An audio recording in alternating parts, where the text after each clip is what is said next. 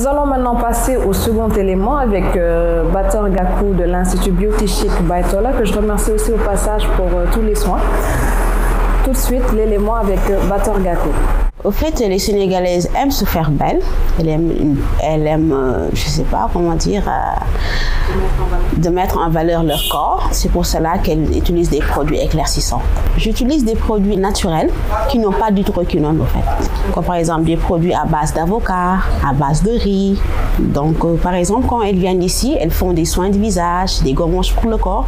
Parfois, ils viennent avec leurs propres soucis. Comme je connais pas mal les produits, donc je leur fais un mélange. Je lui propose déjà des soins pour voir le type de peau qu'elle a.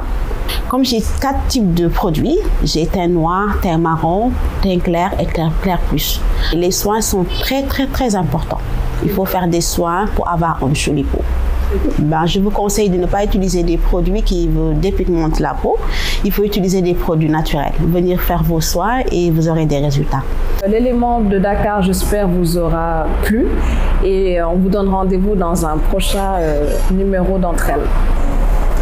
Merci, euh, Penda.